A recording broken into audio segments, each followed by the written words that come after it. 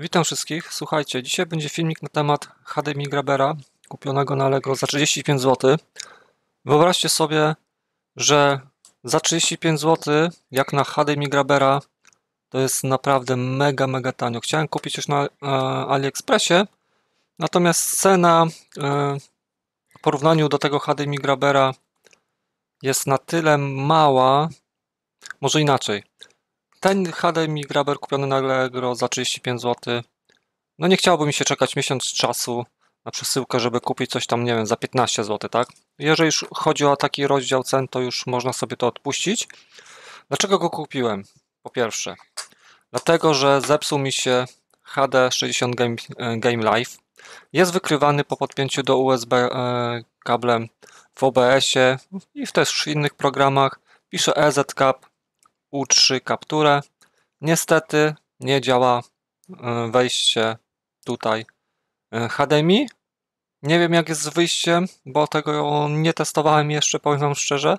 Być może być, e, jest tak, że jeżeli tutaj podepnę mm, kabel HDMI wejście, to na wyjściu podłączając pod monitor coś by było.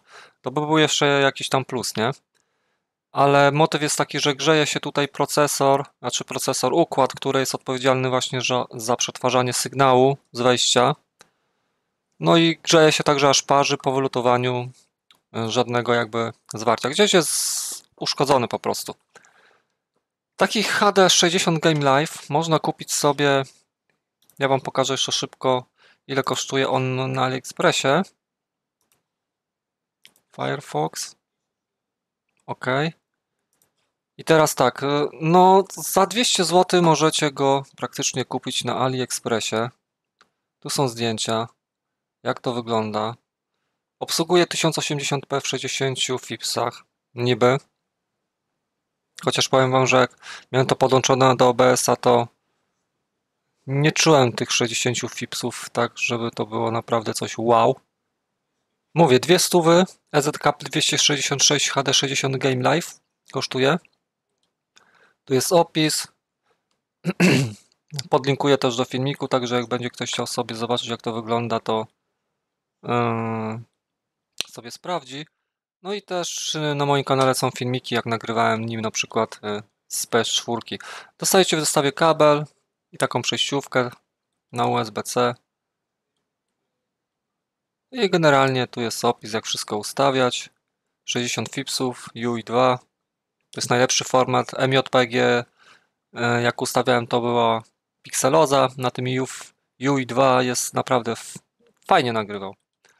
Naprawdę fajnie nagrywał. Szkoda, że się zepsuł. Niestety wymiana takiego układu tutaj się chyba nie opłaca, bo z tego co gdzieś wyczytałem, to jakiś tam zamiennik i tak jeszcze nie jest napisane, jaki to jest dokładnie układ, bo jest e, wyszlifowany.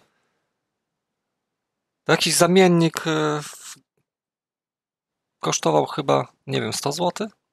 To zobaczcie, to ja tutaj za 35 mam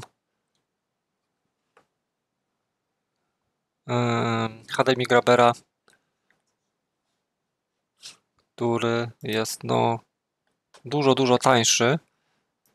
Powiem Wam tak, to jest nazywane jako mydelniczka taka potocznie, a to jako gwizdek. I teraz przejdźmy sobie jeszcze raz do Firefoxa, żeby Wam pokazać, e, jak wygląda ten HDMI Grabber. Zobaczcie, to jest coś takiego, jak pendrive wygląda. Porównamy sobie zresztą do wielkości pendrive'a Intenso 16 GB. No 35 zł. No słuchajcie, jeżeli to mi będzie przechwytywało w miarę ok obraz e, z kamerki na przykład od aparatu cyfrowego, no to jestem jak najbardziej za. Zaraz zresztą sobie zobaczymy dokładniejszy opis.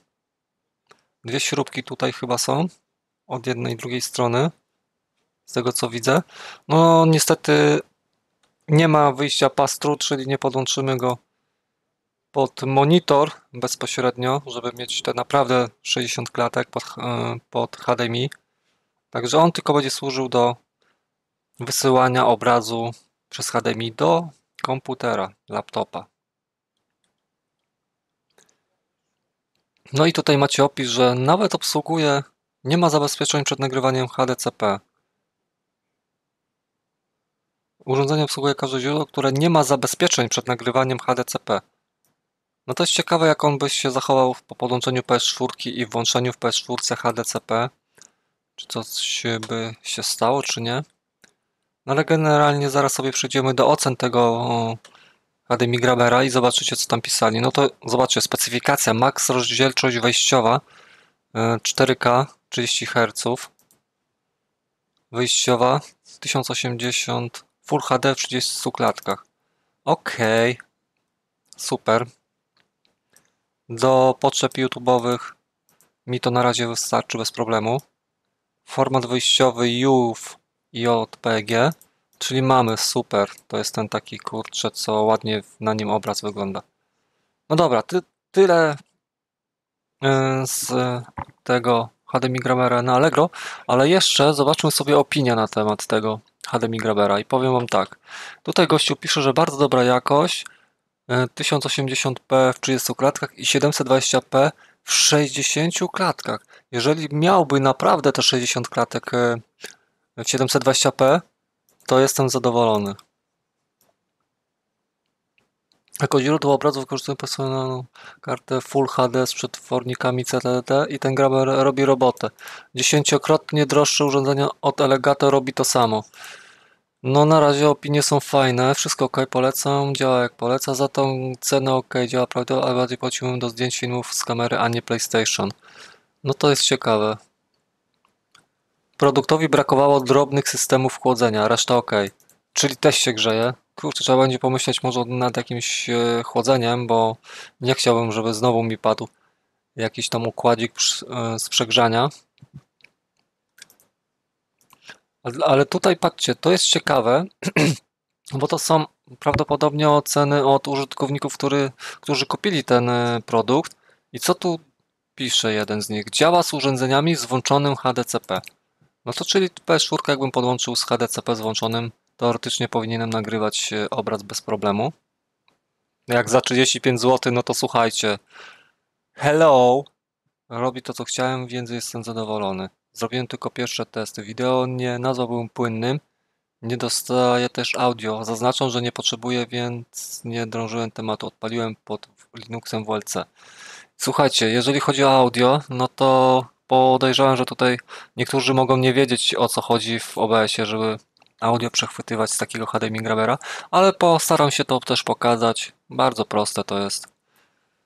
Yy, przynajmniej działało na EZKP 266. Zgodnie z opisem działania umiem tylko ustawić się na słuchów audio w programie OBS.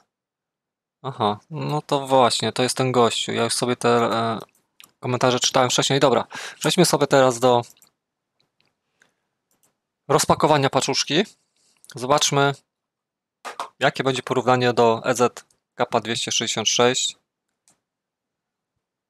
tej mydelniczki z porównaniu z tym gwizdkiem. Także ja sobie już powolutku to ją rozpakuję, zobaczę jak ona się otwiera. Generalnie otwiera się z tej strony. Dobra.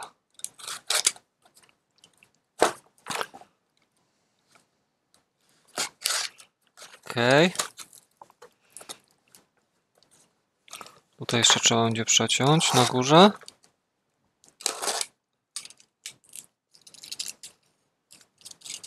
No i powiem Wam, że już jesteśmy że tak powiem, w środku. Wow! Jeszcze w opakowaniu. Dobra, tutaj mamy folię bąbelkową. HDMI Grabera. Jakąś reklamę. No zareklamuję ich, niech mają. W sumie takie coś to mnie tam... Promo 10. Chcieliśmy, abyś wrócił do naszego sklepu. Sprzedajemy Ci kod rabatowy. Minus 10% na kolejne zamówienie. Być może już ktoś to wykorzysta sobie pewnie. Możecie wykorzystać zresztą. Tylko napiszcie w komentarzu, że nie żartuję, możecie wykorzystać. Słuchajcie, zapakowane no stylowo, bardzo ładnie. Powiem wam, że to było zapakowane w folię tylko bąbelkową i nic więcej, nie było żadnego pudełeczka. Także taki HDMI Graver za 35 zł, jak na pierwsze wrażenie, jest bardzo pozytywnie. HDMI Video Capture. Zobaczmy sobie tutaj co pisze z tyłu na pudełeczku. Introduction, wstęp. The video capture can capture both HDMI video and HDMI audio, sending audio and video signal to computers, smartphones, uh, previous and storage, suitable for high definition question, searching, recording, medical imaging, etc. No i tutaj mamy pierwsze co z tego opisu jest ciekawe, że można podłączyć taki HDMI Grabber do telefonu, jeżeli pewnie obsługuje OTG. No i są fajne aplikacje do obsługi takich rzeczy. Tutaj mamy specyfikację 30 Hz, 4K 30 Hz Full HD, yy, support 8, 10, 12 bit depth color, support AVG 26 HDMI standard cable, input up to 15 meter. No, oczywiście zalecam dwumetrowe. Yy, że wspiera tam WLC, OBS-a, AMCAP-a i takie inne. Yy, Windowsa, Androida i Mac OS yy, Configure USB Video and UVC Standard, czyli nie wymaga żadnych sterowników, bez żadnych dodatkowych zasilaczy, kompatybilne, znaczy poręczne i przenośne. Dobra, Rozpakujmy sobie tego HDMI Grabera w końcu. Sam jestem ciekaw.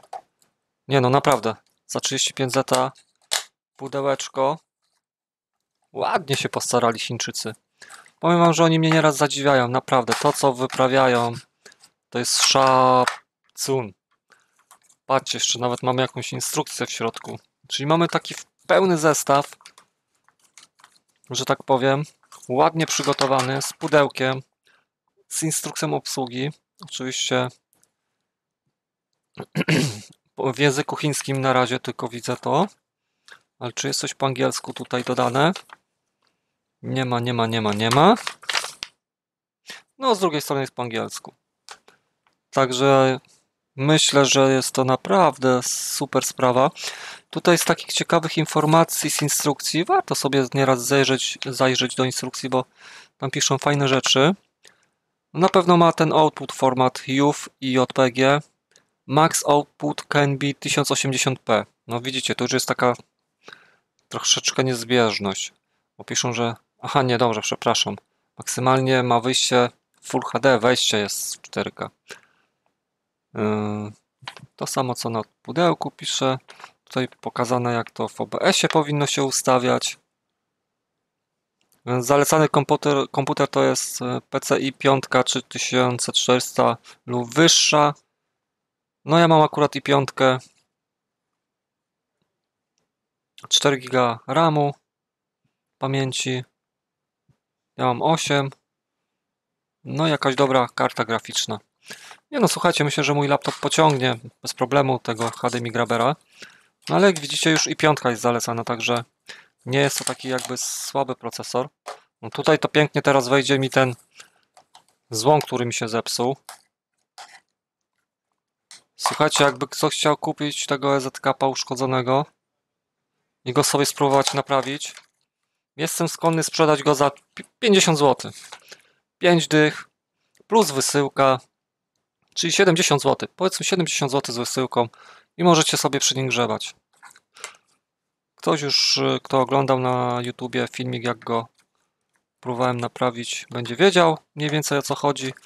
Może komuś się uda. Nie mam termowizji, nie potrafię tak super stwierdzić, czy jakiś element to się faktycznie grzeje, ale jak mówię, po wylutowaniu tego układu nic się już nie grzało, także podejrzewam, że to jest to samo, co było w przypadku y, głośników Manty. Nie no, pięknie wygląda, naprawdę. Powiem Wam, że jestem w szoku. Bardzo ładnie wygląda. Porównując go do pendrive'a, no zobaczcie.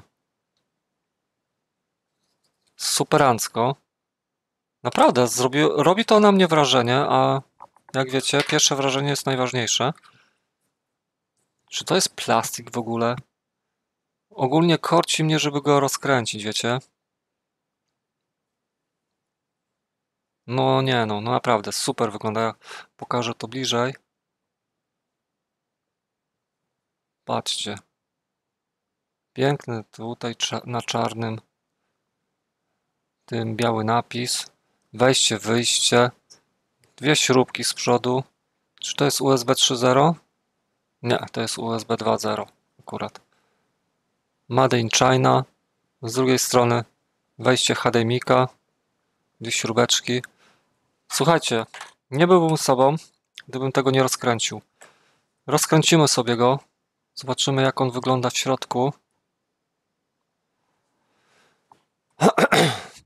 I potem rzucimy go pod mikroskopa, tą płytkę. Także przy okazji przekonamy się, co tam tak naprawdę z tego hardware'u siedzi. Cztery śrubki są do wykręcenia. Myślę, że będzie bardzo prosty w rozkręceniu. Zobaczymy, czy go w ogóle coś chłodzi. Może zastanowimy się nad jakimś chłodzeniem tego. A to będzie pierwsza chyba taka rozwałka takiego HDMI Grabera za 35 zł u mnie na kanale. Popatrzcie, już odpadła pierwsza część tego. Jest bardzo, bardzo prosto. Nawet nie muszę chyba wykręcać tych dwóch tutaj śrubek. Słuchajcie, no nie muszę, to są tylko takie ten. Wow! Jesteśmy w środku. No coś pięknego. Dwie śrubki tylko odkręciłem. Zobaczcie sobie na razie pod telefonem.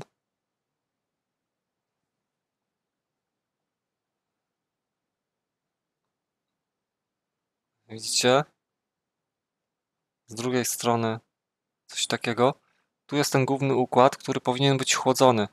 Podejrzewam, że tutaj najlepiej by było zastosować jakiś radiatorek, który by odprowadzał ciepło z tego układu i jesteśmy w domu. Bo on się na pewno będzie grzał z tego, co tam czytałem po tych komentarzach. Czyli jakby to trzeba było zrobić. Zaraz zobaczę, ale słuchajcie, to jest aluminium. To nie jest plastik, to jest aluminium. Pięknie zrobione. On mi się lepiej podoba niż ten kurde ten. EZ Cup. Serio, jest mega poręczny. Ale można pięknie wykorzystać tą obudowę do chłodzenia tego. Słuchajcie. Tylko zastanawiam się teraz, czy ja to dobrze wkładam. Aluminiowa obudowa, no aż się prosi o chłodzenie. Aha, dobra, tak. No, zobaczcie. Od tej strony gdzieś tak, żeby tam chodziło coś, nie? Tylko troszeczkę jest ciężko, bo się go wsuwa. Także jeżeli chodzi o chłodzenie tego, aluminiowa obudowa, no tutaj jakiegoś termopada dać na tym tym. Dobra, słuchajcie, lecimy sobie pod mikroskop. Zobaczmy jak on wygląda w środku. Moja magiczna kamera Microsoftu. Teraz tylko muszę sobie włączyć jeszcze aplikację, która obsłuży mi to, bo przez OBS-a bezpośrednio się nie podłączam, tym tylko przez SEA. Włączę na razie 720p, żeby było w kamerce. Włączę automatyczny e, Exposure and Gain. White balance niech będzie ustawiony tak. Dobra, widać, widać. Teraz tylko w OBS-ie się przełączę na SE. I jesteśmy pod mikroskopem już magicznym. Słuchajcie, zaczniemy sobie od wejścia USB. Nie jest to USB 3.0. Są tylko cztery tutaj luty. Może włączę jeszcze dodatkowe oświetlenie, żeby było lepiej. Troszeczkę zmniejszmy. OK. Widać są cztery luty. No, dajmy może oświetlenie na maksa. Nie będzie tych pasków. Ale za to sobie zmniejszę troszeczkę naświetlenie w tym tym. Ok, minus 7 powinno być dobrze. Dobra, ja się patrzę na razie tutaj. Mam nadzieję, że widać wszystko. Dobra, widać. Słuchajcie, od USB-ka są tutaj jeszcze, widzicie, dwie dziurki. Może ja będę tym pokazywał. Dwie dziureczki. W sumie, aha, nie, to są luty. Tutaj chodzi mi o to, które nie są zalutowane, a to są e, takie jakby piny, które czym mocują te gniazdo dodatkowo, usztywniają, żeby się nie ruszyło. I widzicie, tutaj od tej strony termopada jakiegoś nałożyć, grubego, który by odprowadzał to ciepło do obudowy i będzie git. Lecimy sobie od strony USB-ka. Może ja zdejmę telefon z oświetlenia i sobie zmienimy kąt, będzie lepiej widać. Widzicie jak zmiana kątu robi jaką różnicę? Dobra, więc tak o. Co my tu mamy? AMS 117 V, czyli 5 V yy, robi na 3,3 V, taki stabil, yy, regulator napięcia. Krystal oscylator, czyli Jezu, zawsze mi się ta polska nazwa zapomina. Rezonator kwarcowy 24 MHz. Tutaj mamy jeszcze jakiś też układzik. Zobaczmy sobie w ten sposób. 910 AD. Podejrzewam, że to też jest jakiś taki stabilizator, regulator napięcia. No ale tego też nie trzeba tłumaczyć. Tu mamy, podejrzewam, że jest jakaś kość, którą można, która przechowuje jakieś parametry pewnie. ATM HK 218. Zaraz sobie zobaczymy w necie e, dokładnie co to może być. Dalej mamy główny układ, serce tego. No i zobaczmy teraz na wejściu HDMI. Zobaczcie, dali dwa rezystory, które w, w EZ-Capie nie dali. Tutaj były gołe ścieżki. Tu też jest rezystor 220, 4R7, 4R7. Te rezystory prawdopodobnie mogą też zabezpieczyć nasz układ przed jakimś, przed jakimś zwarciem. Tak, tak myślę. No ale to się ceni, no dali Chińczycy. Rezystorki, to jest bardzo fajne. Albo po prostu układ potrzebuje jakiegoś tam tutaj tego właśnie na wejściu tych rezystorów. Ale popatrzcie, jak to wygląda. Tu mamy wejście. Idą te tutaj do układu. Do tej strony. Tu widać, że po lewej stronie wychodzą dużo sporo nóżek w kierunku tego układziku. No i do USB-ka już biegną tutaj chyba te dwa. Tak. Data plus, data minus. Widzicie? Tu mamy wyjście, data plus, data minus. Zobaczmy sobie w ogóle, co to jest za układ, jakiej firmy. MS 2109. Dobra, lecimy najpierw z rozkminą tego MS 2109, ok? Także poszukamy sobie jakiegoś datasheetu na internecie. Dobra, słuchajcie, znalazłem coś w necie na temat tego układu. Jest to Macro Silicon IC chip. Jakoś tak. No i zobaczcie, mamy tutaj MS. Ile to było? Ile to w ogóle było? Czy to jest to? 2109. 2109. Tu mamy 2106. 109 nie ma, nie? Dobra, zobaczmy sobie tą, tą 106. Jakie będzie miała, o, jaki będzie miała opis. O ile w ogóle tutaj coś jest.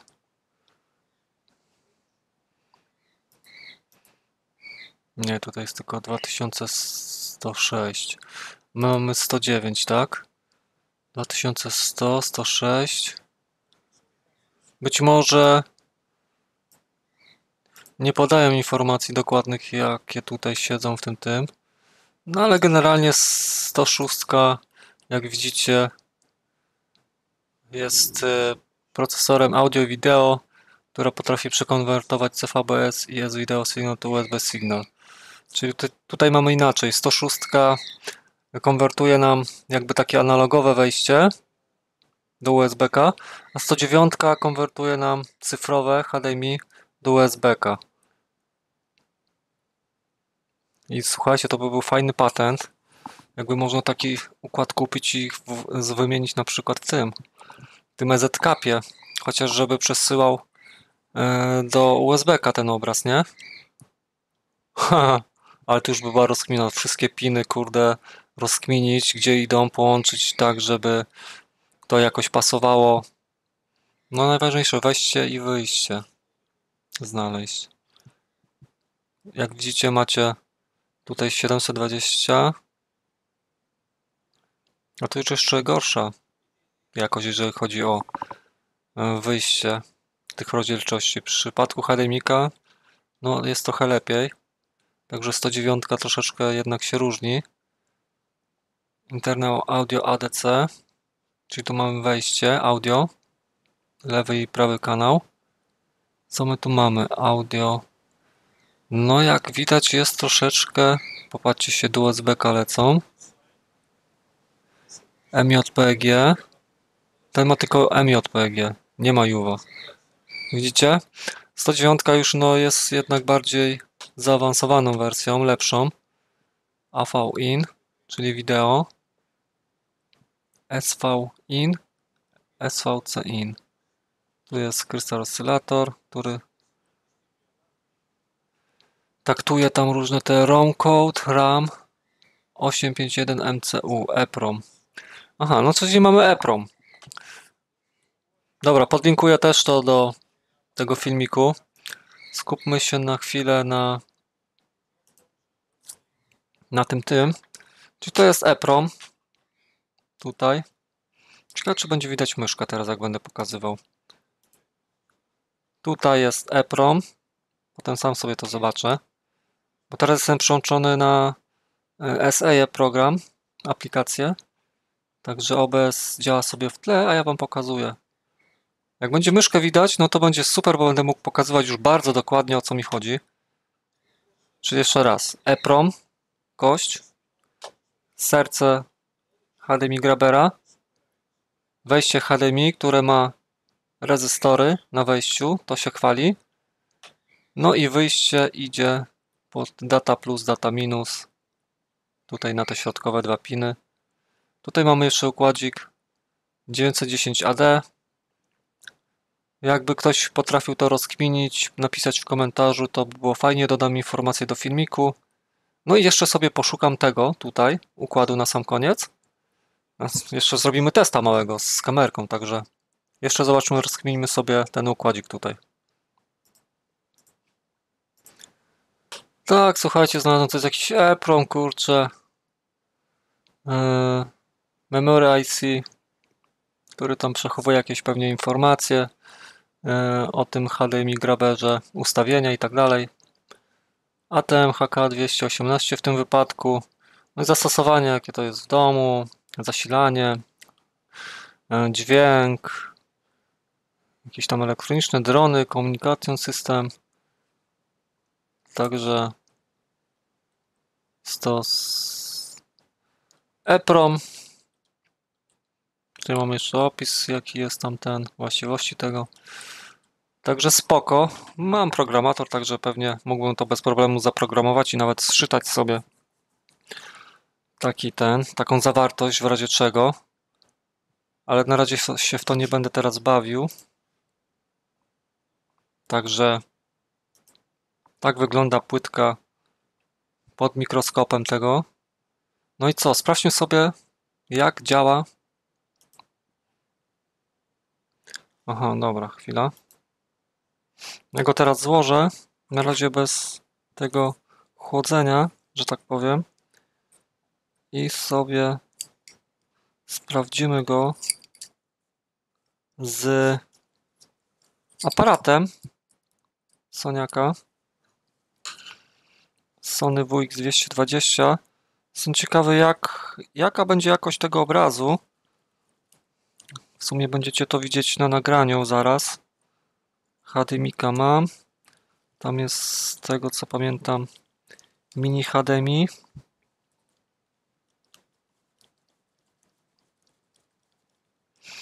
Bardzo proste jest rozkręcenie tego HDMI grabera. Powiem bardzo prościutkie. Ok, skręcony. Także robimy sobie pierwszy test z OBS-em i zobaczymy, jak to w ogóle nam wykryje. Zastanawiam się, żeby Wam to pokazać, a nie, to podłączę tam do USB-ka. A aparat sobie tutaj, tutaj umieszczę. Pokażę też y, w HDMI, raczej w tym, w menadżerze urządzeń, jak jest to wykrywane. Także ja robię pauzę, idę sobie przyszykuję aparat, HDMI-ka i lecimy z ostatnią częścią, partią tego nagrania, czyli pokazaniem, jak on przechwytuje obraz. Słuchajcie, podłączę go kablem USB 3.0, taki jak był w, w tym EZK 266. Tak? Nie, źle, Boże. Ja myślałem, że ten, że tu on ma wejście, a tu po prostu wtykam go do tego, do huba USB. Dobra, ale namieszałem teraz. Dobra, słuchajcie, yy, aparat jest, kabel jest z mikro HDMI, żeby do aparatu się wpiąć. Kabel HDMI, który podepniemy sobie do tego HDMI grabera. Teraz ważna uwaga, żeby to wszystko podłączyć, ja sobie już podłączę bezpośrednio tutaj kable do tego. Z tego co gdzieś czytałem, nie wolno podłączać jak jest w zasilaniu USB. Także podłączmy sobie najpierw to wszystko do aparatu, tak jak ma być. No i tutaj mam hub USB, do którego podepnę się tym, tym, tym HDMI graberem. Teraz tak o, ja sobie menadżera urządzeń uruchomię, żeby Wam pokazać jak w ogóle zostanie zidentyfikowane to urządzenie. Na razie mam tylko, jak widać, aparaty fotograficzne, kamerkę Microsoftu, no i od laptopa kamerkę, która jest włączona. Dobrze, to teraz podpinamy to urządzonko. Zobaczymy, co się stanie. Sobie tylko kable poukładam dobrze, żeby mi się nie plątały. Uwaga, pierwszy test.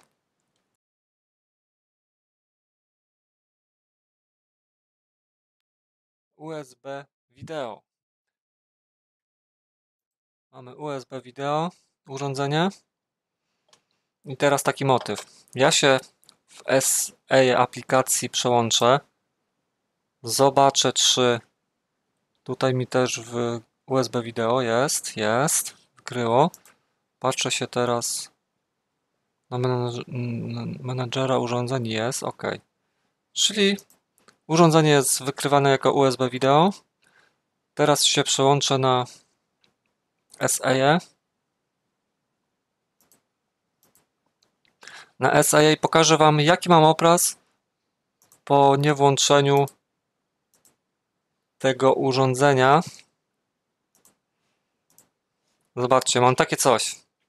Zresztą wiecie co? Ja się przełączę na e, pulpit. Będziecie wszystko widzieli dokładnie, co robię. Czyli teraz sobie wejdę w tego SAE. Zobaczcie.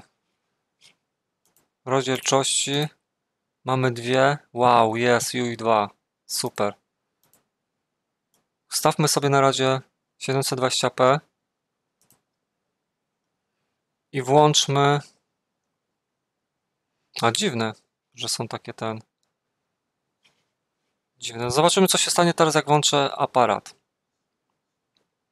W tym celu, żebyście to widzieli, ja się teraz przełączę na Droidcama. Włączam aparat. Albo nie. Przełączę się teraz na SE i włączę aparat, nie? Powinno być wyświetlane tutaj, co się dzieje. Ok, włączam aparat. Jest! Wykryło. Dam anuluj. Ok. Mamy to. Słuchajcie, mamy teraz, żeby mi znikły te wszystkie, wszystkie krzaczki. Brak karty pamięci. Mm, dajmy sobie jakąś tą płyteczkę tutaj. Zoom, zobaczmy.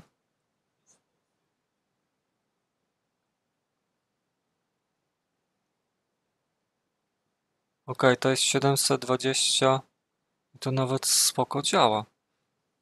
Rozdzielczość 720p. Zmienię teraz rozdzielczość na Full HD i w MJPG to jest. Dobra, zmienię teraz na UF 2. W UF 2 są opóźnienia i to spore, czego nie było na EZ Capie. A tutaj już mamy lepszy obraz, ale niestety opóźnienia są.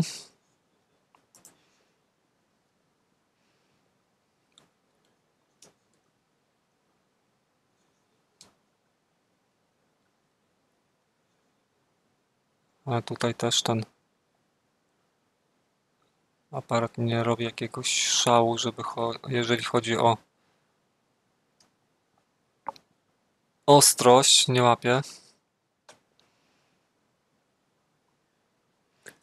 Dobra, to ja sobie teraz zmienię jeszcze w tym tym na MJPG, żeby było szybciej. No w MJPG jest o wiele szybciej. Dobra, po, powiedzmy, że będę so, się bawił na MJPG. Bo naprawdę jest szybciej. Teraz daję na Full HD. Łączę się na Full HD. Wow, też tak szybko? No to ładnie.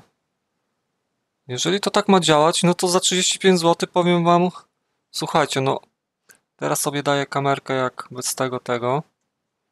Mogę regulować sobie zooma. Już nie łapię ostrości. Musiałbym mieć jakiś... Yy... Nie wiem, jak, nie pamiętam jak to się nazywa, nakładane obiektywy. Takie, żeby zrobić przy takim powiększeniu większy zoom. Dobra, słuchajcie, no działa to spoko.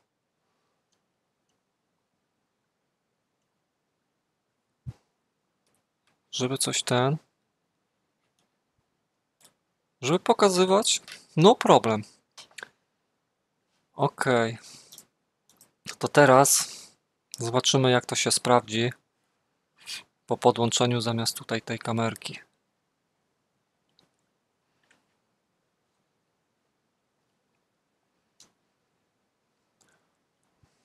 No z takiej odległości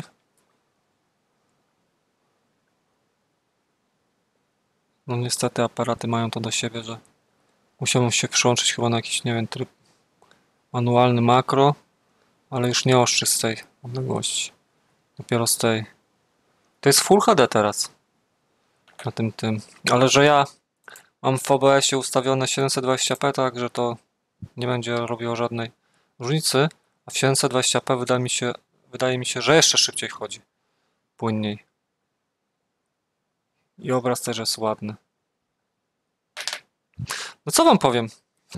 Za te 35 zł, jeżeli miałbym teraz kupywać, słuchajcie, EZK 266 za 200, to nie kupiłbym, szczerze wam mówiąc. Ja tutaj mam, praktycznie nie widzę różnicy, nie odróżnię tego tak za bardzo gołym okiem, żeby powiedzieć, słuchaj Jezu, tu mam kurde taki piksel, a tam taki piksel. Nie, nie, nie, nie, nie. Jeżeli chodzi to już bardziej o kolory, a jeżeli teraz bym wyłączył Exposure and Gain automatyczny, można regulować? Nie można. White Balance można regulować? Nie można. Color Radius? No tutaj już mogę sporo regulować. Nawet hue zmieniać. Nie, nie mogę. Myślałem. Dobra, saturation, kontrast i brightness mogę regulować. Czyli jasność, kontrast i saturation, czyli kolory. No i zobaczmy jeszcze w tej aplikacji Color Mode, Monochrome, Negative, czyli pod czerwień oszukana. Power frekwencji nie ma flipa, mogę tutaj sobie w aplikacji zmieniać. Dobra. Ale zobaczmy jeszcze Juwa, jak działa w 720p, też wolno. Czyli MJPG jest najbardziej szybki. Ja mam teraz w trybie aparat w ogóle. Lepsza automatyka. Zobaczymy, jak będzie działał w trybie filmu. W trybie filmu. Inteligentne auto dam.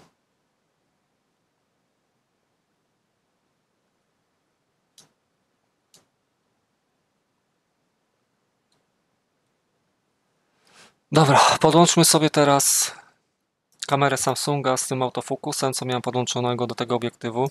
Zobaczmy, jak on się spisze. Jeszcze jedna ważna kwestia. Po braku sygnału na tym HDMI graberze mamy właśnie wyświetlany taki ekran z takimi tymi paskami. Taka informacja ode mnie. Ok, teraz słuchajcie, podłączymy sobie taką kamerę Samsunga, która ma autofokus do tego tutaj obiektywu od mikroskopu. Czyli ja sobie wezmę to tak i tak przyłożę tu, na razie ręcznie. I zobaczycie sobie, jaki jest obraz z tej kamerki. Ja się przełączam na SE. Tą kamerkę mam. Teraz, żeby tylko dobrze tutaj się dopasować, OK. I tu widzicie, mamy obraz już spod tej kamerki. Tu działa autofokus. I tak to sobie można pokazywać. Rozdzielczość teraz jest ustawiona Full HD w SE. Sobie zmienię na 720p. Teraz jest 1900, 1280 na 720. No i zobaczmy. No trochę szybciej działa, płynniej. Wolę płynniej niż yy, kosztem jakiejś tam minimalnej jakości. Jak widzicie tutaj działa autofokus w tej kamerce. Także nie muszę sobie nic regulować, tylko w zależności jak położę, to i tak mi wykryje autofokus. No i to jest genialne, jeżeli chodzi o tą kamerę, nie? Samsunga.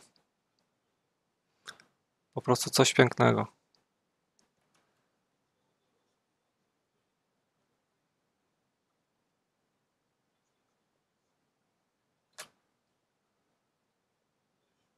Patrzcie, jak ona wykrywa sama ten autofokus. Oczywiście jeszcze odpowiednie zamontowanie. To jeszcze nie jest tutaj tak, jakbym chciał. Musiałbym zeszlifować troszeczkę plastik y, przy obiektywie tej kamerki, żeby fajnie zamontować to z tym obiektywem. Na razie wydaje mi się, że jest troszeczkę za daleko obiektyw od y, soczewki obiektywu. No i generalnie tak to działa ten HDMI Grabber.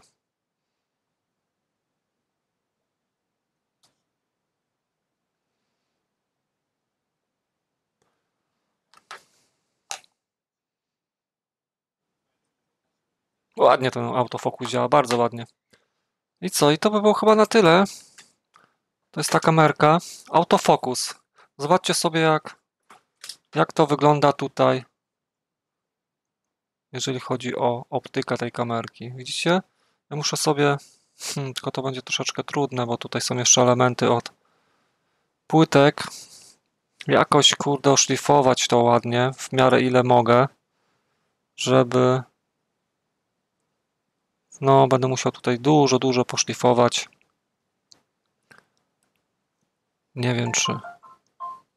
No, teraz się otwiera w środku ta... Te oko, widzicie?